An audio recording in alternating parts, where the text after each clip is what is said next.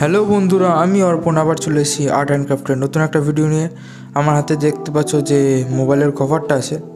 এটাকে অনেক হলুদ হয়ে গেছে, তো এই কভারটাকে প্রথমে সাদা করলাম আর যেইভাবে আমি কালারগুলো মেশাচ্ছি, ওরমভাবেই তোমাদেরকে মিশিয়ে নিতে হবে। মাঝখানে সাদা, তারপরে গোলাপি আর তারপরে রেডের শেড আর এইগুলোকে এরমভাবে মেশানোর পরে আমি কালো দিয়ে কিছু গাছ আর দুটো পাখি এঁকে দেবো। আর হ্যাঁ এর মধ্যে গাছের ডালে যে ফুল হবে, আমি ফুলের বদলে সাদা রঙের কিছু হার্ট শেপ এঁকে নিচ্ছি আর ওটাকে আমি মেরুন দিয়ে কভার করব। আর তোমাদের যেমন ইচ্ছে তোমরা নিজেদের মন পছন্দ মতো রঙ করতে পারো। পুরোনো কভার ফেলে দিও না, নতুন করে কিছু করতে থাকো। তো দেখো, বলতে বলতে আমার ভিডিওর কাজ শেষই হয়ে গেল। এই যে, আমাদের শেষমেশ তৈরি হয়ে গেছে।